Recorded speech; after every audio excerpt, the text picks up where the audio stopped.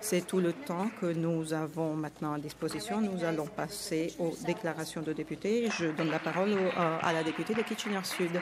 Merci, Madame la Présidente. Euh, nous avons maintenant euh, la saison des Jeux olympiques de printemps dans notre région et c'est ce sont des Jeux qui se sont tenus à Waterloo, qui avaient été prévus avant la pandémie, mais qui ont dû donc être réorganisé un peu plus tard.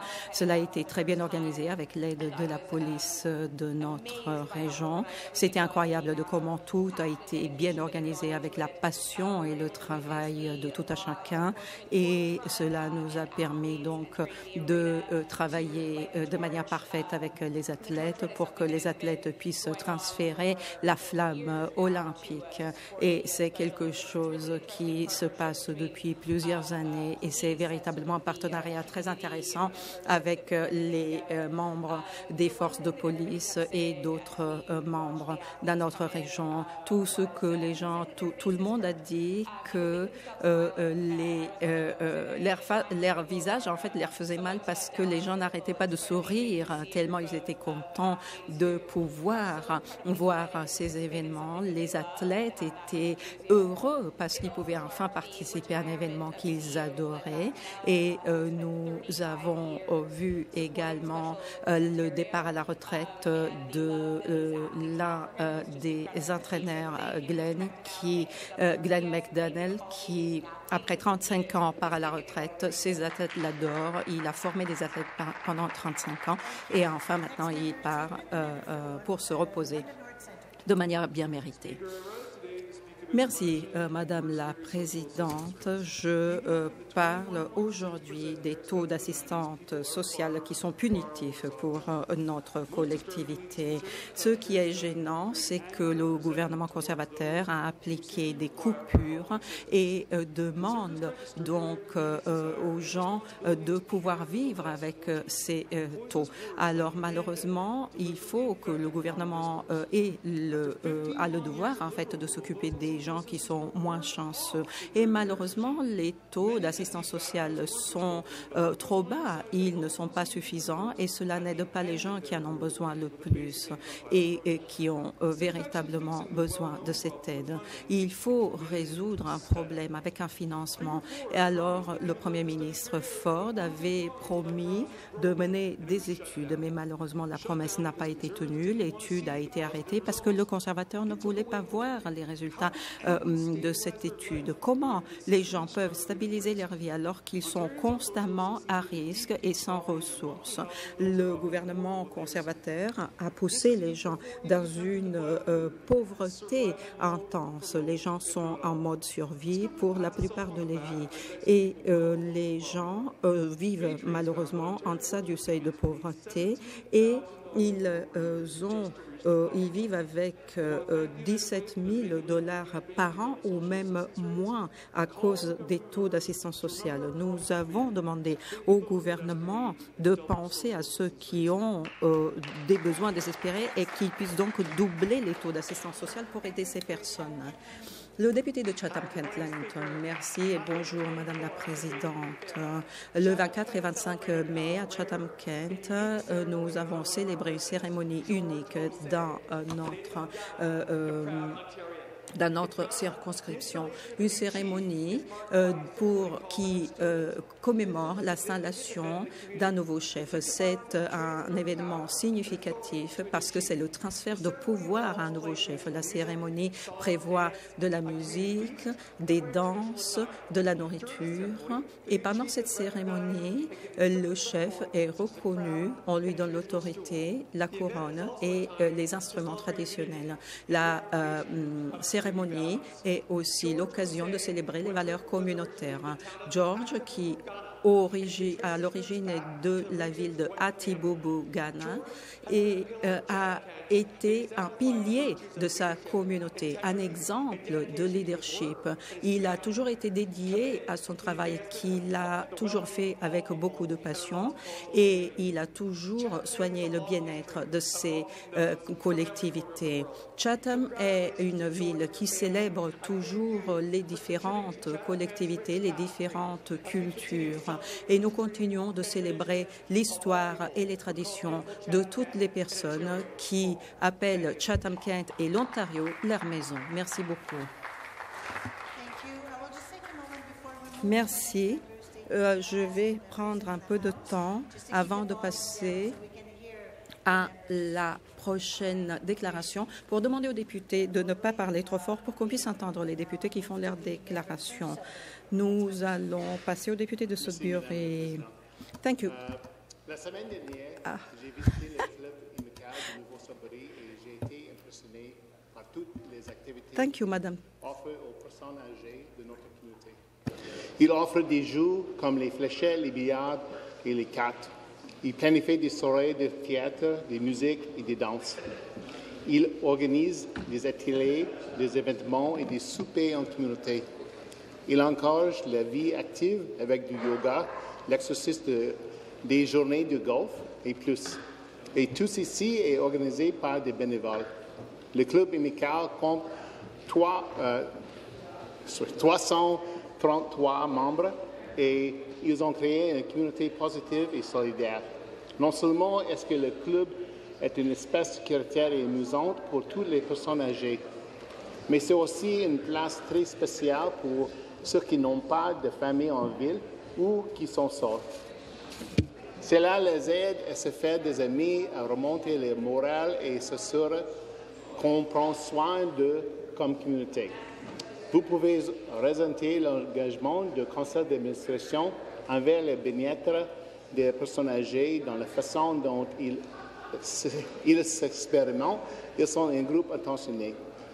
Tu peux vraiment voir ceci par la manière dont les membres sont impliqués avec le club sur un fonds de bénévoles depuis plus de 30 ans.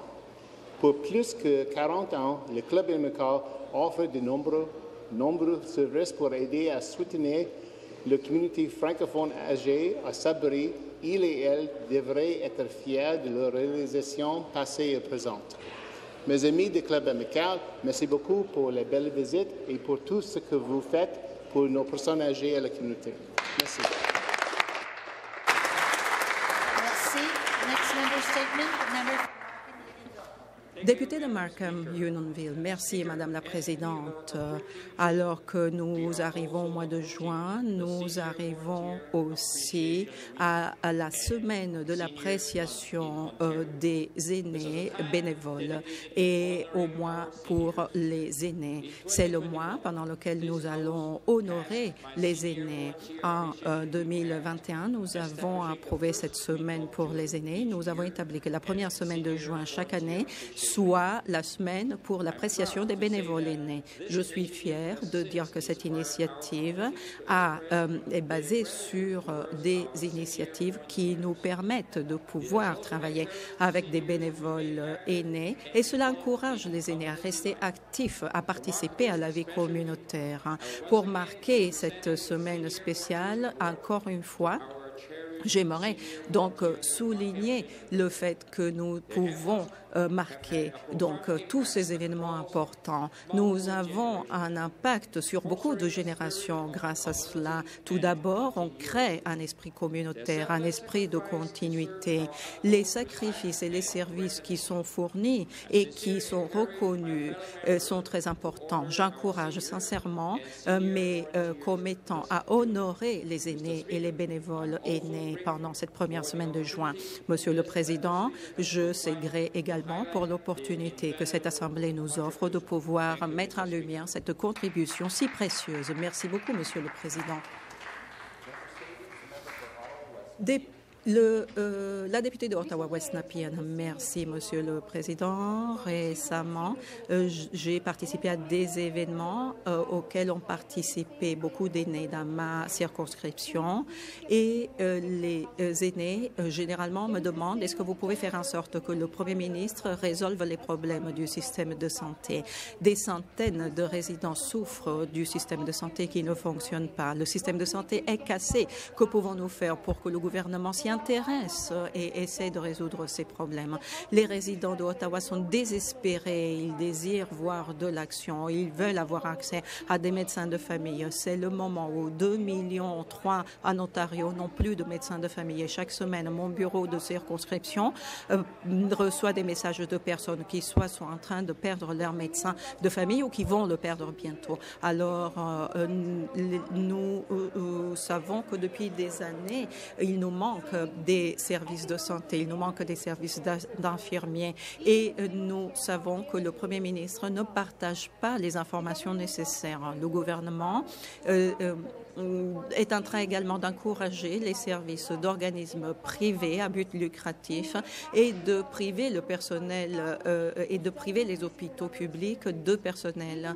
Les euh, chirurgies, malheureusement, sont réduites et euh, les hôpitaux, malgré le fait qu'ils aient les infrastructures, ils n'ont pas la possibilité d'offrir les services nécessaires. Alors maintenant, le gouvernement a le système de santé qu'il mérite à cause de ses actions.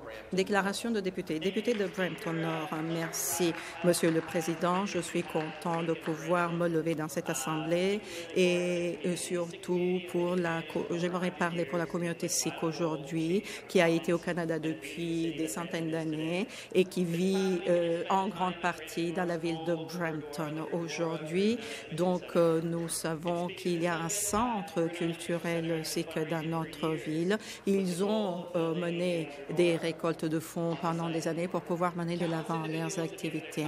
Beaucoup de personnes ont donné les ressources, leur temps et euh, euh, leur énergie pour pouvoir faire commencer la construction d'un nouveau centre. D'un nouveau centre culturel et euh, religieux. Ce euh, lieu ne sera pas uniquement un lieu de culte, mais ce sera un endroit, euh, un hub en fait, un centre d'accueil pour les personnes qui ont besoin d'être accueillies, d'avoir des amis, d'avoir des aides. Et cela améliore et permet une plus grande liberté de culte et culturelle dans notre ville. Donc, Nous aurons le 9 juin une parade très intéressante et donc euh, je serai très content de pouvoir y participer et euh, j'invite tous à prendre part à cet euh, événement. Déclaration de député, le député de Ottawa Centre. Alors, que- que- quelle est l'obsession de ce Premier ministre à- euh, avec l'alcool? Il dépense des millions de dollars hein, pour pouvoir en fait euh, répandre la euh, vente euh, d'alcool, de bière, etc. Et alors la question c'est qui va en bénéficier? Eh bien, ce sont toujours les mêmes, ses amis qui sont bien connectés et les euh, euh, entreprises multinationales.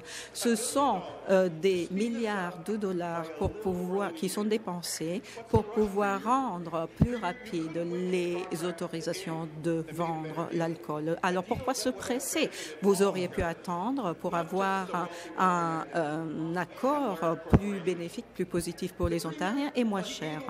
Le Premier ministre a euh, raconté l'histoire, mais euh, ce sont les Ontariens qui payent. J'aimerais que le Premier ministre ait le même sentiment d'urgence pour les 2,3 millions d'Ontariens qui n'ont pas de médecin de famille, pour résoudre les problèmes dans les écoles, pour résoudre, par exemple, les problèmes de garderie, ou alors pour maintenir les salles d'urgence et les hôpitaux ouverts. Un milliard de dollars qui aurait pu être mieux dépensé sur les choses qui sont le plus importantes pour les familles de l'Ontario.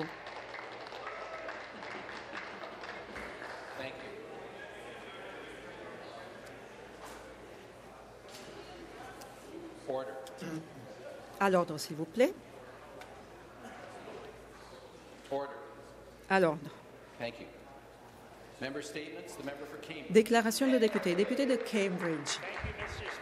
Merci, Monsieur le Président. Le 17 mai 1974 est le jour que beaucoup de résidents de Cambridge ne vont jamais oublier. Ça a commencé avec un beau dimanche, mais Mère Nature avait d'autres plans. C'était un jour, il y a 50 ans, où une inondation a euh, pratiquement entraîné toute la ville et détruit. Moi, j'étais adolescent à l'époque. Je me souviens, mes amis et moi-même, qui étions à vélo et qui avons témoigné des scènes véritablement incroyables. On a dû utiliser des bateaux pour sauver les gens de leurs maisons et de leurs entreprises. Il y avait des voitures qui flottaient dans les rues. Heureusement, il n'y a pas eu de décès à cause de cette inondation, mais il y a eu 6 millions de dollars de dégâts aux propriétés. Et c'était beaucoup d'argent dans les années 70. Récemment, les gens de ma circonscription euh, se sont réunis pour euh, commémorer le 50e anniversaire de cette grande inondation de euh, 1974. Les gens qui ont vu cette dévastation se souviennent. Les événements du 17 mai 1974 étaient des événements qu'on a vus qu'une fois dans la vie pour beaucoup de résidents de Cambridge et je remercie les personnes dans ma circonscription qui ont travaillé dur pour pouvoir résoudre les problèmes de euh, cette époque. Merci. Déclaration de député. Aaron. Le député de Mississauga, Harry Mills. Merci. Merci, Monsieur le Président. Le 18 mai, l'Association pour la protection du patrimoine de ma circonscription a tenu le plus grand festival égyptien. Euh, C'est un festival pendant lequel on célèbre la culture égyptienne à Mississauga. Plus de 28 000 personnes se sont réunies pour garantir euh, qu'il y ait des événements, des musiques, des chanteurs, manger de la nourriture traditionnelle et célébrer la culture égyptienne. Le lendemain, on a visité le musée égyptien à Mississauga où les visiteurs ont pu voir beaucoup d'art et de euh, produits qui ont été manufacturés euh, par euh, qui, qui rappellent la culture égyptienne. C'était une semaine importante pour qu'on puisse montrer la culture égyptienne et le patrimoine égyptien Canadien. Je suis impatient de revoir ce festival l'année prochaine. Et bien sûr, nous nous préparons tous pour le mois du patrimoine égyptien qui arrive au mois de juillet. Sur un autre sujet qui est j'aimerais reconnaître le travail important euh, du euh, collège de Mississauga qui a euh, formé 120 étudiants qui ont euh, continué et, de tous ceux qui ont participé pour servir euh, cette collectivité. Nous avons formé des milliers d'étudiants. Nous avons célébré des performances d'étudiants au centre culturel et nous avons participé à des dîners. Je suis content d'avoir vu la résilience et le travail euh, pendant les années de ces personnes. J'appuie la protection de la culture égyptienne, arabe et euh, euh, aussi riche dans notre circonscription et je suis impatient qu'on puisse continuer pendant les 27 années à venir. Merci. Merci, c'était tout